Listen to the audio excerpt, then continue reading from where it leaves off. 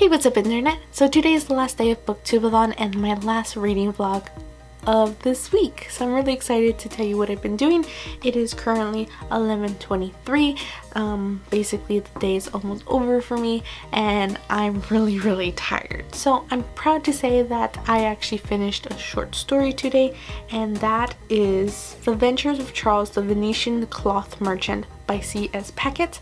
This is a short story based off the Half-Blood Prince trilogy. This is actually after the events of the trilogy so it's sort of like an epilogue and I liked it because it's the point of view of a minor character of Charls and I liked it because he sees stuff and it's just cute and fluffy. I just love this little character and it's just and how it ended was pretty funny. I thought it was kind of funny.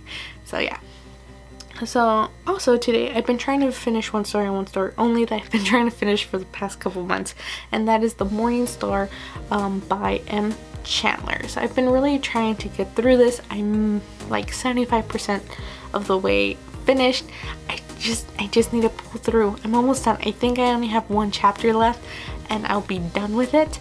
But I can't finish it today. I just can't. I can't keep my eyes open for the love of me. And so yeah, I'm kind of proud of myself because I've actually read eight books this week and that's not bad if I say so myself.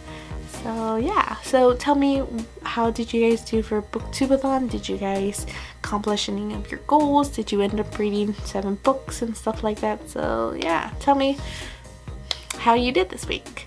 So anyhow, if you guys like this video, please give it a thumbs up. If you want to see more, please subscribe. If not, that's cool. I usually try to upload Monday, Wednesdays, or Fridays. So yeah, I catch you later. Well,